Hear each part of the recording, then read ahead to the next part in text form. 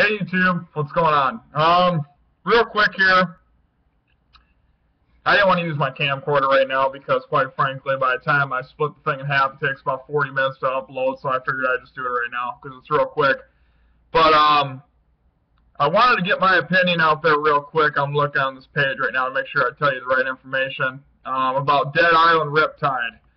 Um, if you played the original Dead Island, of course, it's going to be a continuation of um, the first one.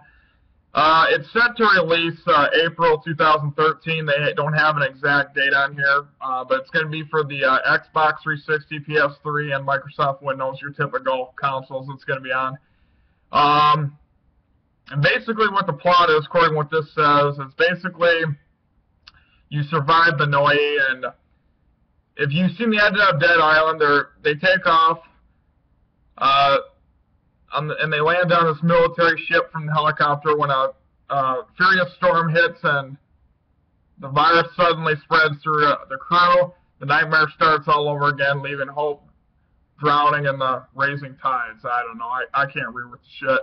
But basically, what it means, it's just they land, they get in a storm, they land on another island, they basically got to do it all over again. Now, my whole problem with this game is they released Deep Silver released some gameplay of this game here on YouTube, and you can look it up for yourself.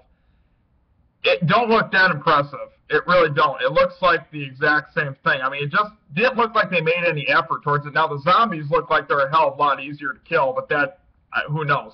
Maybe that's after you're in a certain level of the game. But uh, just looking up uh, Dead Island Riptide gameplay, and it should be like the first second. It's this guy that that is the producer for uh, Deep Silver, one of them, and he uh, talks about what they he walks you through a mission. Um, and quite frankly, basically the same moves. I mean, I like that. I I don't want them to, them to change it too much because you know you want to have the same feel like you know like when Grand Theft Auto 3 and Grand Theft Auto Vice City and Grand Theft Auto San Andreas, they were basically all the same moves but just different story but they had more uh, features. But my problem with this thing, it, it just don't look too exciting. It looks like all they did was just uh, redid the map, and the soundtrack is the same, the movements are the same, the graphics look damn near the same, um, which is okay. Like I said, graphics are not the are not number one to me, but it's nice to have.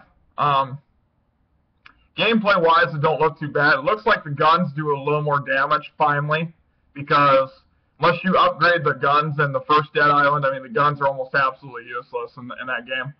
Um, so hopefully they they uh they made it more of a shooter game too, rather than just one running around using an axe, hacking everything up. But uh, um, Dead Island Riptide, it, I'm kind of excited for it to come out. You know, like I said, Dead Island. I like the game. I didn't hate the game. I just thought there were some things they could improve on, but you know, the game had very few flaws from what I've seen. So I am excited about this game coming out. Um, like I said, you guys look it up and tell me what your thoughts are on it. I really, you know, I, I get nervous with these companies today, guys. Simple fact is because of all the bugs and somebody, some I've had a few YouTubers come on and say, well, you know, they have a warranty. If there's any bugs, you can take it back. Well, the bottom line is, guys, you shouldn't have to do that. You really shouldn't. I shouldn't have to buy a game and then have a bunch of bugs on it and take it back. I'm sorry, that's stupid. I mean, why do I have a Nintendo 64 here and, and not one game I've ever bought has a bug on it? You know, back in back when it came out and today, and the game and the system's damn near 20 years old. You know, so I, I just it, it's stupid. We shouldn't have to do that for the amount of money we pay these companies. We shouldn't have to do that. But that's just my opinion. Um, I shouldn't have to take a game back to a store and have a warranty on it because there's a bug on it. I mean, that's just stupid. I mean, if you're a producer of a game, once you make it right, I mean, well, whatever. I ain't gonna judge early. We'll see how this game turns out. Um, like I said, April 2013. They did, haven't given an exact date, just the month and the year, and the consoles it's going to be on. Uh, the name of this island is going to be called now. I have no idea if I'm going to pronounce this right or not. Palanini. Palanai. I think that's how it's pronounced. You guys can look up yourself. I have no idea how to freaking pronounce that word. I went to public school, okay? I'm not a scientist or a fucking doctor. I don't have the IQ high enough. Kidding. I don't know. But anyways, yeah, look it up, guys. Um, it just says the end of April. It doesn't show a date. I'm trying to find it. It's a single player co-op. Uh, same as the first one.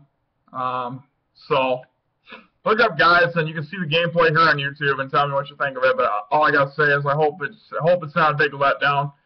Grand Theft Auto 5's coming out soon, I think around the same time, so that'll be interesting to see that as well. So uh, I'll have more videos for you later, guys. And I'm probably going to bring you gameplay of older games because that really don't seem to draw a flag as much as the newer games. So we'll see you guys soon.